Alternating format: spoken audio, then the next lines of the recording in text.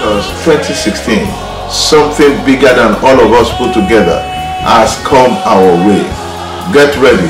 We will know the awesomeness of God. We will see God as real as He is in His awesomeness.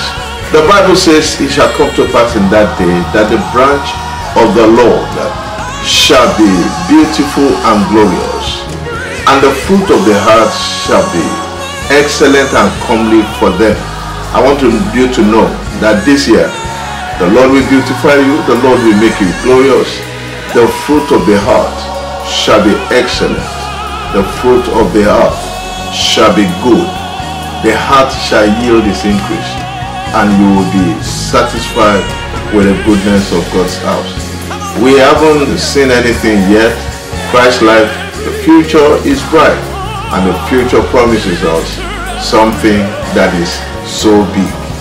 On behalf of the leadership of Christ Life Ministries, I want to thank everybody, thank our pastors, all our ministers, all our members, including our youth and children. Youth, it is your season. We will do everything, work everything with you to be able to do that which is pleasing in God's eyes. Stand strong. Do what you are doing well. It is your time. May the Lord bless you and keep you.